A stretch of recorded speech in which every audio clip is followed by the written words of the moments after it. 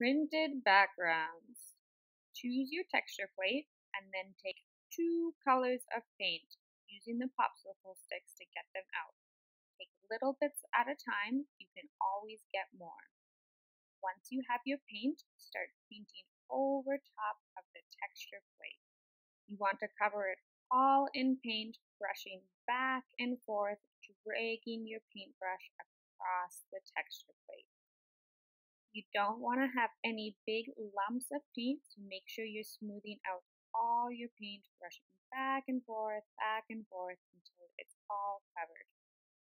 Once it is covered in paint, then you can take your piece of paper and put it over top.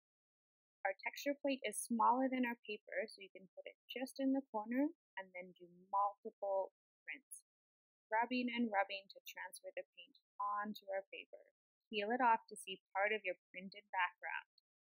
Now to cover the rest of the white. So again, go over top of your printing plate with some paint. You may need to get a little bit more, brushing back and forth, back and forth until all of it's covered.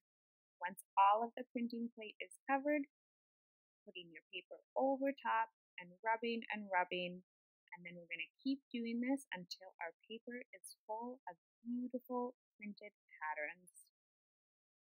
You can see here what happens if you add a little too much paint, right? Our design gets blurred. Try to make sure the paint is nice and smooth.